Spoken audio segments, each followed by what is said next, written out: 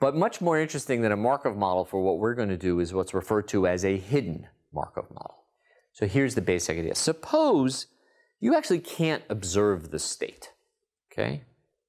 So there's some state doing its thing, but you can't observe it. But what you can observe are what are referred to as observables or the evidence. So let's suppose for the same weather example, okay, let's suppose the things that we can observe are essentially what uh, women of the day happen to be wearing or carrying. So maybe I see this very chic bathing suit on a person, or I see a, just a nice coat that could be worn anytime that it was uh, sunny, uh, or uh, an umbrella. So these are the evidence of what the state is. So before I can go further, I have to tell you one more thing about our Markovian system, and that's what's referred to as the emission probabilities. Emission, if you think of it as symbols being spit out. And the emission probabilities are written like this, B sub j of k, and what that means is the probability that you'll see symbol k, that you'll see a bathing suit, given that at some time you're in some particular state. Okay, so what's the probability you'll see a bathing suit given that it's sunny? What's the probability you'd see a bathing suit given that it's snowy? All right, those are called the emission probabilities.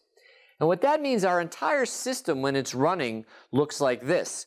In this new system, where we can't observe the states, we don't ask questions about the likelihood of having seen a particular sequence of states because we can't see the states. Instead, we're going to ask about the likelihood or the probability of seeing a particular sequence of observations. So that's shown here. So you could say, given this sequence of observation, coat, coat, uh, umbrella, umbrella, bathing suit, umbrella, umbrella, what's the probability of that series, of that sequence of observations? Well, we could evaluate that if you give us everything, right? So here I've just written it out as P of O is this all the sequence of all the observations. And I know the way to, to compute that, and we'll get more of the details later, is I could say, well, if you told me the sequence of states, then I could tell you the probability of a given observation.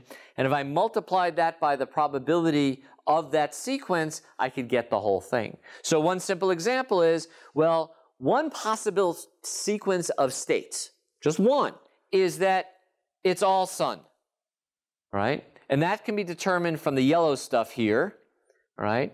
Right, so it's the probability that I start with sun, 0.7, right there, and then I follow that with a whole bunch of sun, 0.8, 0.8, right? All, all sunny days.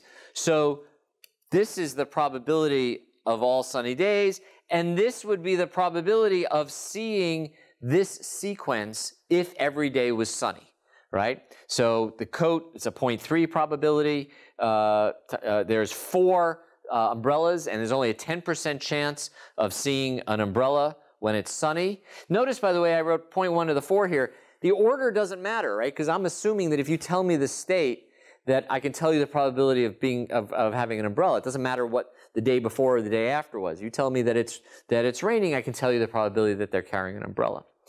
But this was only for one particular sequence of all sun. You'd have to worry about all possible sequences of weather over those seven days to talk about the probability of getting this one series. So to make that a little clearer and a little easier, let's just do the math.